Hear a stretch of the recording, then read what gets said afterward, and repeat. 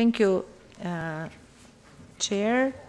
Thank you, Deputy Chair, um, and all the uh, uh OSCE uh, representative countries. Uh, I would like shortly to present the key uh, aspects regarding the draft resolution for the second Committee on Economic Affairs, Science, Technology and Environment. Uh, this, uh, this draft resolution recognizes recognize the rapid digital digitalization process that take place across the OSCE countries, uh, which also generating substantial changes in all spheres of life and carry many security implications, including in the economic and environment dimension. These resolutions also uh, emphasize the role of the national parliament in developing legislative legislative proposals with the aim of, advancing sustainable development and security and implementing OSCE commitment in the environment uh, and economic dimension. The resolution also recalled the OSCE PA 2018 Berlin declarations, which again underline the advances in digitalization and which cause fundamental changes in all aspects of life and emphasize the role of parliamentarians in the modernization of national and international legislation and the legislative flexibility to adapt an ever changing world uh, order. Also, the resolution recalled the adoption of the Un United Nations guiding principle on internal uh, displacement as well as United Nations New York Declaration for Refugee and Migration adopted in 2016 that aims to protect the human rights and all refugee and migrants and gives also an impetus to negotiations for the adoption of Global Compact for safe, orderly, and regular migration and Global Compact on refugee in 2019. also recall the United Nations 2030 Agenda for Sustainable Development and its Sustainable Development Goals that provide action plans to reach 169 targets to end poverty, protect the planet, ensure peace and prosperity, with the goal to sustain uh, to have a much more sustainable, improving life for current and future generations. Recall also the OSCE PA 2018 Berlin Declaration, which urged parliaments to adopt legislation to establish and develop anti corruption policies, including beneficial ownership transparency, and to promote best practices to ensure a free and competitive market, as well as enable sustainable and environmentally friendly economic growth. Acknowledging the human induced climate change, which is disrupting weather systems, impacting national economies, costing lives, and affecting communities in countries around the world. Acknowledging that together with food security, water security is a growing issue for the OSCE area, with certain regions in particular that are very seriously prone to water crisis recalling also the Berlin Declaration, which stressed the importance of energy security as a crucial factor for economic growth and stability and provided its support for regional effort to interconnect energy networks and other infrastructure projects enhancing energy security.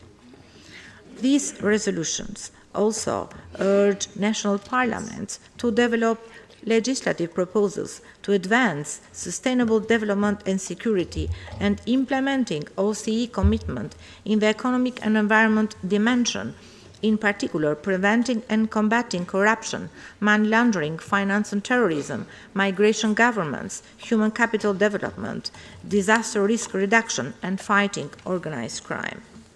Also, importance is emphasized with regards to the good governance and also development and, and expansion of renewable and sustainable energy with the ultimate aim to reach energy efficiency through clean energy sources.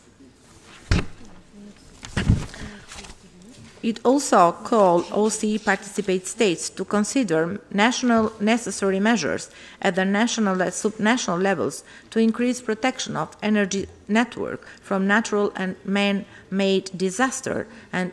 encourages OSCE participating states to share best practices to strengthen the security and safety of energy network in the OSCE region.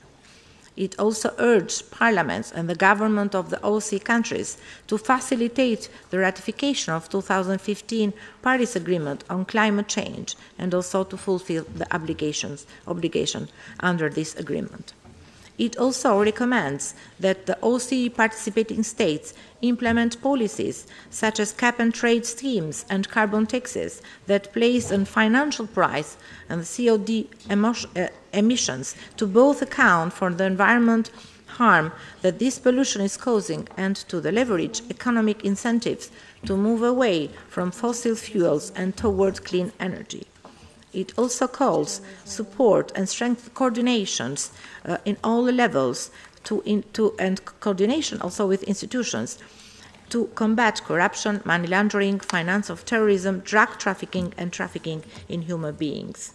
It also encouraged parliaments of the OC countries uh, to work more to improve the legal framework for the migration with aim to increase the international cooperation, promoting integration, facilitating labor mobility, addressing drivers of migration such as poverty and conflict, establishing pathways for regular migration, promoting education opportunities and protecting the right for the family life. It also reiterates the support of the OSCE PA for the work of the Office of the Coordinator of the OSCE Economic and Environment Activities and also welcomes the priority of the Office for 2019 and all the issues that were mentioned also. It welcomes also the OSCE plans to assist the incoming 2020 Albanian OSCE chairmanship in the preparation of the 28th Economic and Environment Forum.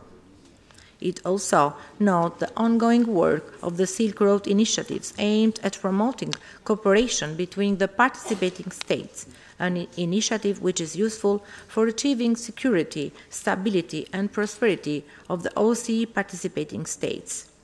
Acknowledge that the rapid digitalization process take place across the OC area and is generating substantial changes in all spheres of life and carries many security implications, including in the economic and environment dimension, and calls all national parliaments to keep abreast of developments in this field and respond appropriately with relevant legislation where the human beings remain at the center of the digitalization process.